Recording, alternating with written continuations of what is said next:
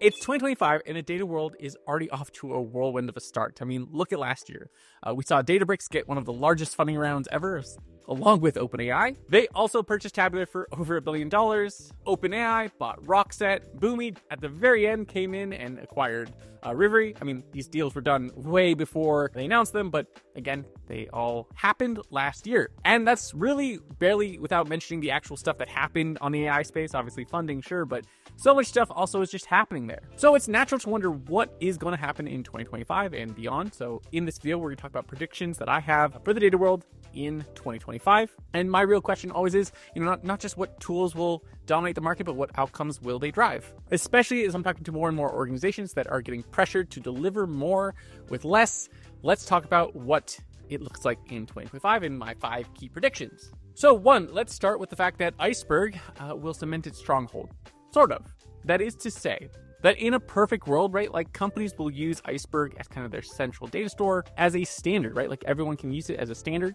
I realized in my newsletter I accidentally said they purchased Iceberg when I'm like, I meant to say tabular. How did no one call me out on that immediately? I don't know. I'm sure someone will by the time this video comes out. And for many organizations, if they can centralize their data platform around Iceberg, it will be a game changer. It will make managing, processing their data considerably easier. But here's the thing that I also know, and this is why I kind of say sort of.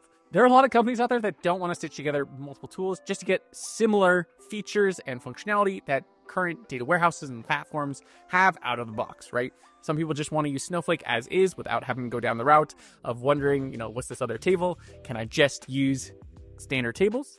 I've literally talked to people um, and talked to directors and VPs who have told me things like, we just like skiing on the weekends and we don't want to sit there and babysit um, a system that someone's kind of cobbled together. And, you know, if someone quits, that will be what ends up happening. So some people are very much in the world of, I would prefer not spending time tinkering. I just want something that works out of the box. I don't want to take five or six tools and stitch them together. And the truth is, people in the tech world have different priorities. Some people love, again, skiing on the weekends. Other people want to spend all weekend tinkering and playing with tools.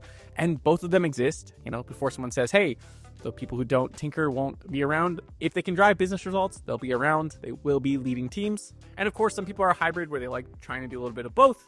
So that's why in some cases it'll work great in the terms of Iceberg. In other cases, it'll just be a struggle to get companies to centralize on one singular data format, and they'll have like normal and most other companies have 30 different tools they're using, and they'll be using, you know, BigQuery, Redshift, Snowflake, Databricks all under one roof, and they'll kind of look like a smorgasbord of tooling where the marketing team has one, the sales team is using another tool, and so there's no real consistency. Especially at large enterprises that struggle to adopt solutions uh, throughout all their various entities that get cut and sold off and merged and reacquired and so on and so forth. And so all these tools kind of just get thrown around. Next, I'm going to say SQL isn't going anywhere. And the reason I'm going to say this is because I just know someone out there is tempted to revive uh, Data Lake 1.0, which was just basically a data swamp. That's what we called it. We'll just get all this unstructured data, shove it into a single place, and put a layer on top of it and do schema on read. That's what we called it for everyone who has never heard that term. That's what we called it. We called it schema on read. We'll just figure it out when we write the query. And that's kind of what I feel like people are going to start suggesting we do now is this undeterministic approach of like, hey, we have all this data. We'll just run an LLM on top of it and it will give us the right answer. If the data is not well formatted, if it's not structured, if it's not set up in a way that is somewhat usable so that the system and so that the machines can understand it, and sure, they can infer a lot, but like everyone else, they have their limitations, you're going to run into issues, right? We've seen strange issues already with things like LMs, even with companies as good as Google, you know, and their results. You could probably put up a few examples, whether it's their ability to tell the difference between 5 16ths and 3 eighths or something else. At this point, we're just accepting the fact that Google now gives us mediocre results. I also recall the time when SQL was dead. For what I started, there was tons of SQL is dead articles. Some of that was due to, again, the schema on read approach where we were having to use other query languages to interact with data um, or there's all this NoSQL that was coming out, and all of that kind of made us question, especially if you're new to the industry, hey, where is SQL going? And if anything, it's gotten more prolific in the last decade, especially with tooling that just makes it easier and easier to just use SQL um, instead of also programming. So overall, I think SQL will remain the lingua franca of data, uh, especially as I keep opening up queries that are 5,000 lines, me having to figure out, you know, tons and tons of case statements, tons of crazy joins that you're like, I thought it should just be a basic join. It's not. So as long as that exists, we'll have plenty of time where it's still the way we interact with data. Next, I think for the third point, AI is going to go from like a press release driven initiative to real life, meaning we're actually going to start seeing things happen more. And I think this is going to come from companies that have maybe been quieter over the last two years, right? Companies that maybe were like, oh, yeah, we're doing all this AI, and we're focused quietly on building reliable data infrastructure around their AI. Now, I do want to call out that a lot of times we're using this term AI and even in that term, it seems to be a very narrow slice of AI where it's like LLMs, AI agents. Companies have been doing AI and machine learning for decades now. So, yes, some people already have the infrastructure in place and are doing a great job of implementing models.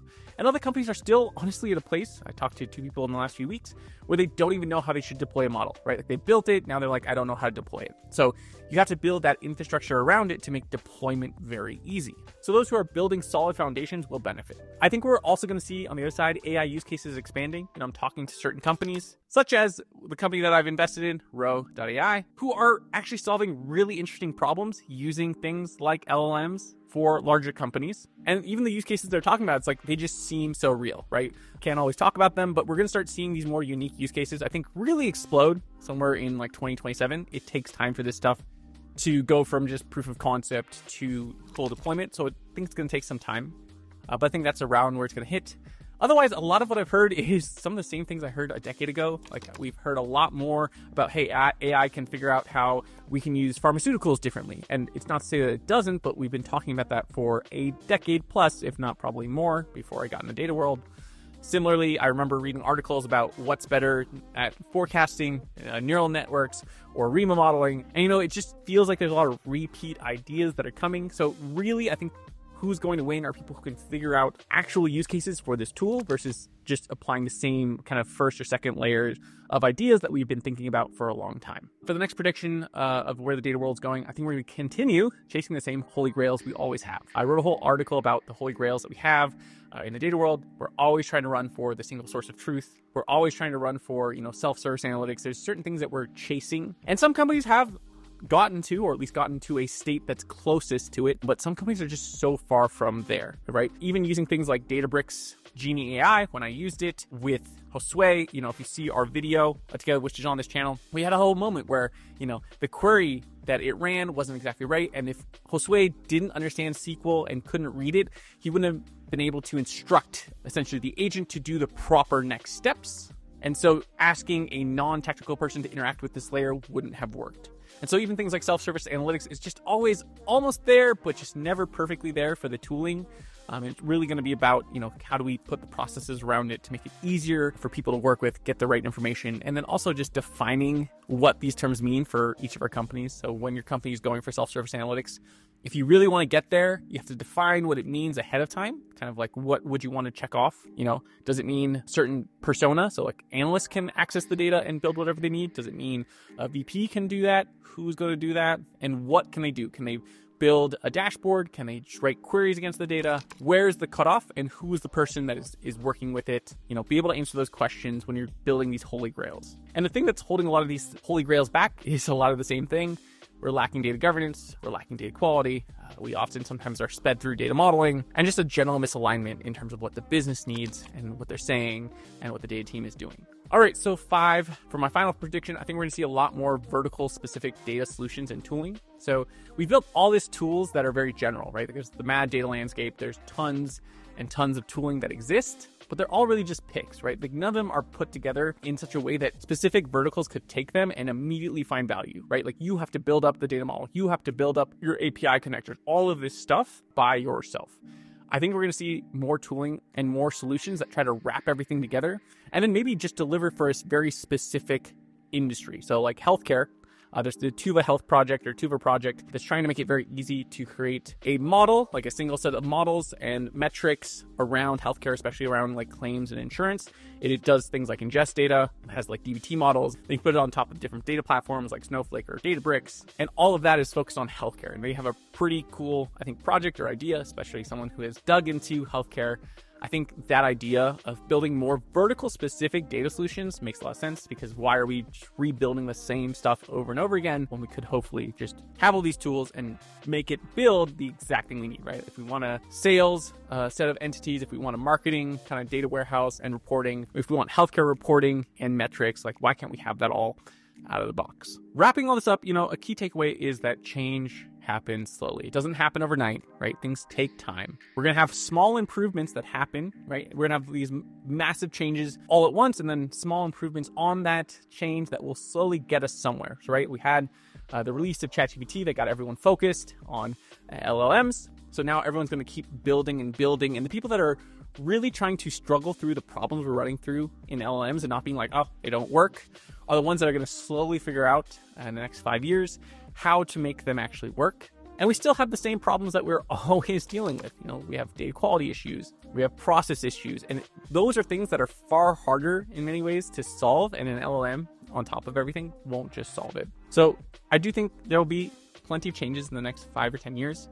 I think for the next five or 10 years, if you're looking to go into data, I think you'll be fine.